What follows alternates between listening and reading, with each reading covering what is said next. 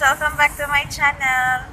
So, andito ako with my husband. Papunta kami sa city proper. Uh, it's our first time going to the city after na community quarantine. So, tingnan natin kung meron bang pagbabago sa city, kung ano ba ang epekto ng community quarantine. So, I'll keep you updated later. So, biyahe muna kami. And then si Papang. So, we're wearing mask.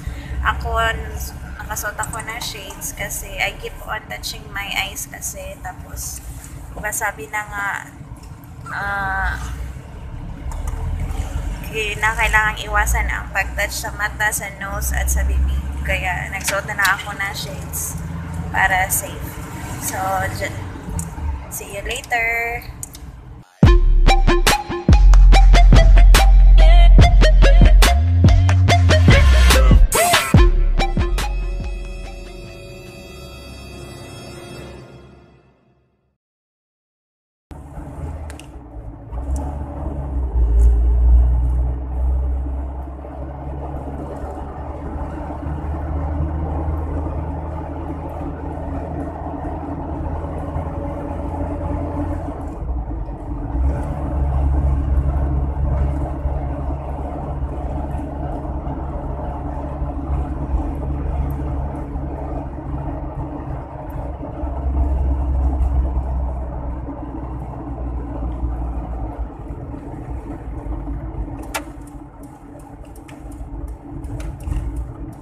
A few minutes later.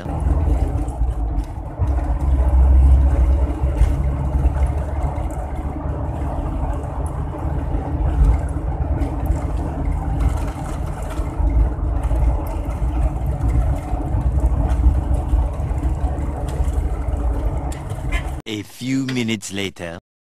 So ito na guys, we're approaching the city proper na. Uh, we are falling in line dito sa checkpoint. Medyo marami ng tao. Actually, kinakabahan ako kasi uh, first time kong lalabas. Kasi yung husband ko yun, uh, he's going to work kasi duty pa sila. Ako ay lalabas dahil uh, mag-grocery kasi maliit na lang yung supply namin. Tapos, I hope okay ang lahat. Meron pala akong passes dito. Ito, pakita ko sa inyo. Uh, ito yung resident pass ng barangay namin. Certified ng punong barangay.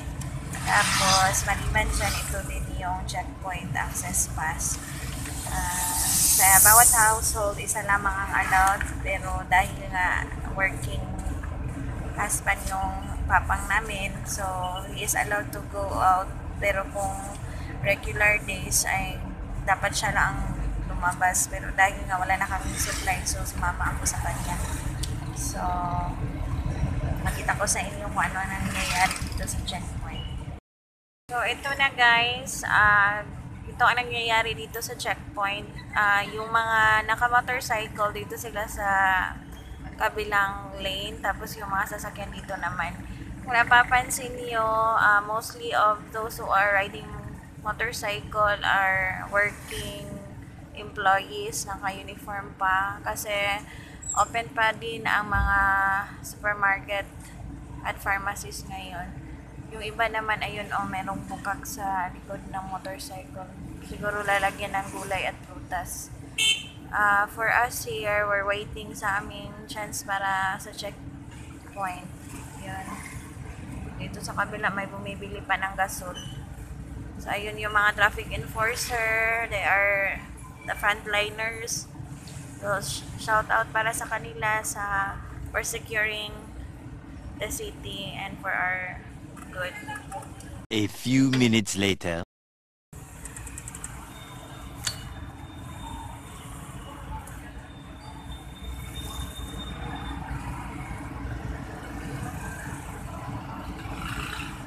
A few minutes later.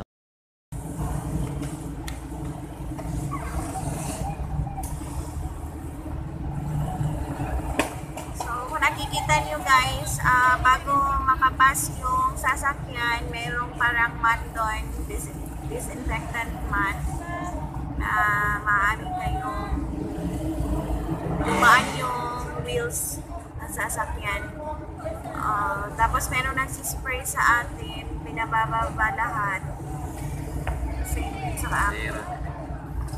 Zero three makagi. Ay, ba din? Una Yan na.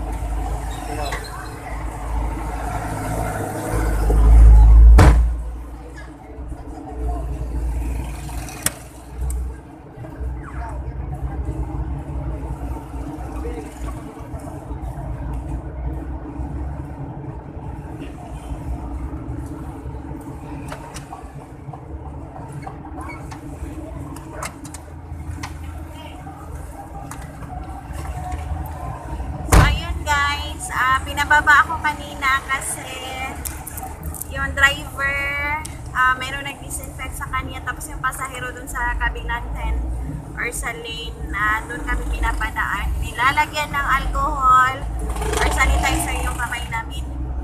So, we're in the city proper na. So, kung napapansin nyo, medyo maliit na ang ta- mga tao na andito. So, Diretso na siya Ah, papunta na siya sa work tapos ako sa market na ako magpapadrap. So kung napansin, napapansin niyo wala masyadong tao, wala naglalakad, kung merong mga sasakyan, kaunti lamang. So, uh, I'll keep you updated mamaya guys. So, kasi it's almost 8 na. Baka malate na si Happy. So, bye-bye for now. A few minutes later.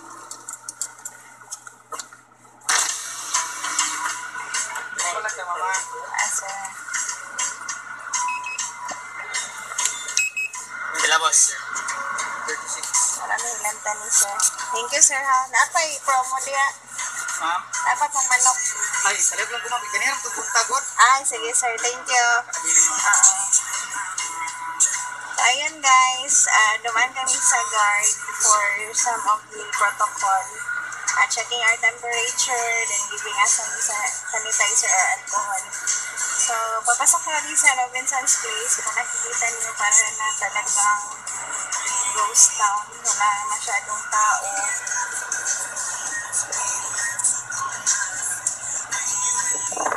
I'm with my cousin Joshua kasi yung husband ko at work pa. Tapos mahirap mag-commute. Lalo na ako. Kung nakikita niyo, um, lock pa yung dito na part sa likod. Tignan natin kung saan tayo pwedeng pumasok for my isang process. Maliit lang lang nakapark.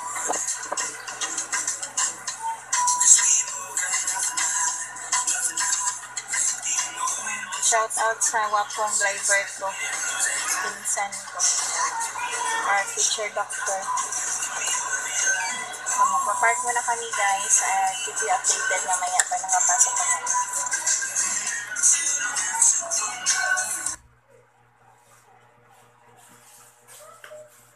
A few minutes later.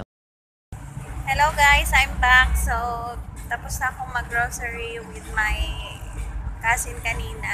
At hinatid niya ako sa office ng husband ko. At ito na. Ah, I'm with my husband na pauwi na kami. Andun sa likod yung mga pinambili namin.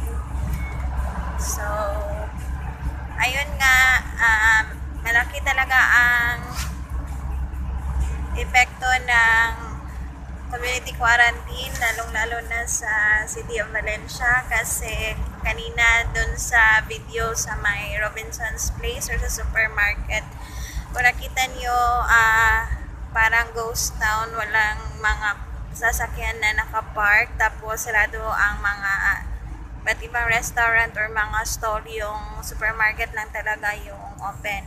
At sa city proper naman ay hindi din gaanong madami ang tao. So, ito na guys, pauwi na kami. So, let's follow the instruction of the government. Let's support nga. We should stay at home. Huwag lumabas kung walang importanteng bibilhin or gagawin sa labas. Ah, at ipagdasal din natin guys ang health ni President Duterte na sana ay hindi siya ah, maapektuhan or mahawaan ng COVID dahil talagang napaka laking problema kung siya ang magkakasakit at ah, yun na stay at home para makatulong tayo sa government kasi talagang hindi kaya ng government natin na suportahan tayong lahat kung sakasakaling tayo ay magkasakit or mahawaan ng COVID. So, let's pray, let's keep safe at dito nagtatapos ang vlog ko for today. Thank you for joining us in our journey going to the city. Bye-bye. God bless everyone.